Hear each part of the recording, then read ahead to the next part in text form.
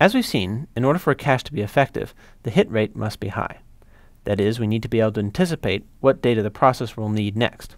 Ideally, we would be able to look ahead in the code and plan ahead, but so far this has proved impractical. Instead, we use the heuristic of locality.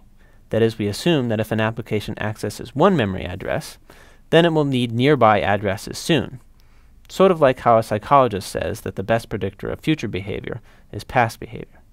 Experts like to distinguish two types of locality, temporal and spatial. Temporal refers to the tendency to refer to the same memory close in time. The spatial refers to the tendency to access memory that is close together in terms of address. Typical cache policies exploit both kinds. It exploits temporal locality by putting the data in the cache right after you use it, thinking that you're likely to use it again soon. It exploits spatial by putting not just the memory address that you access, but putting the whole block into the cache.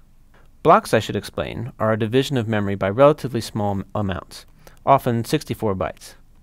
Thus, one block is from 0 to 64, another from 64 to 128, etc.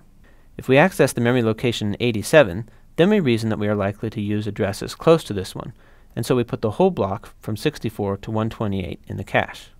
Now you may ask yourself, why do we put the block of memory into the cache instead of something more consistent, say maybe the previous 32 bytes and the next 31 bytes or something like that? After all, with blocks, sometimes the most of the data we pull in will be higher in the address space, and sometimes most of it will be lower. Well, the answer is that it makes it much easier to figure out what is in the cache and where. The size of the cache block is always a power of 2, so we can uh, read which cache block we belong to just by looking at the higher order bits. The lower order bits are called the offset and tell us where within a given cache block the data we want is.